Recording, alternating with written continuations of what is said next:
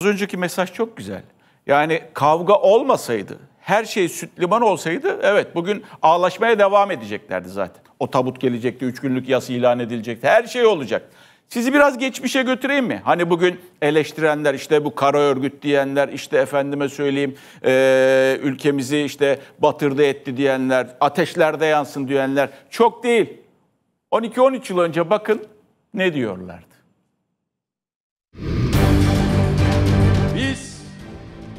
Gurbette olup şu vatan topraklarının hasreti içerisinde olanları aramızda görmek istiyoruz.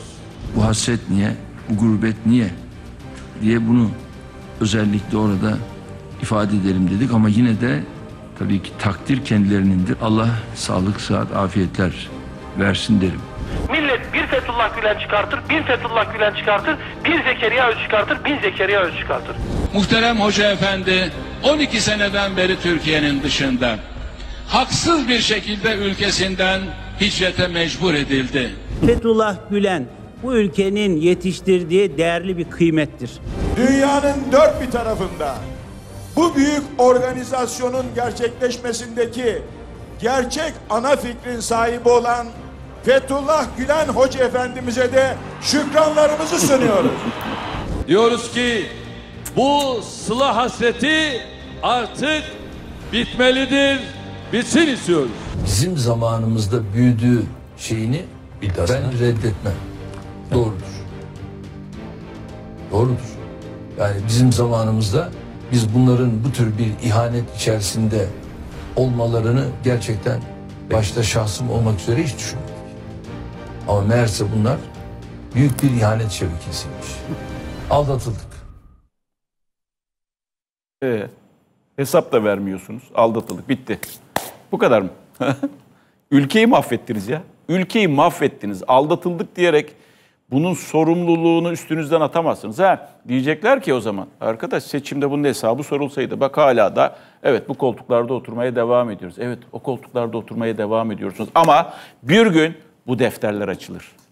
Bir gün o 180 derece dönüşlerin hesabı da sorulur. Bugün e, benden sonra İpek'in çok e, yerinde bir program var. 13-14 İpek Özbey 13-14 konuğu ağırlayacak ki içinde bakın o dönemin önemli isimleri var. Onlardan bazılarını paylaşayım. Mesela Ahmet Yavuz yani içeride cezaevinde kalmış bir e, emekli amiral. Efendimiz Nihal Olçak var. E, yine e, Turgut Kazan e, İstanbul Barası eski başkanı kendisi. Şöyle bir bakıyorum kimler var. E, Nilüfer Tatar var. Ali Tatar'ın karısı var. Sabriye Okkır var.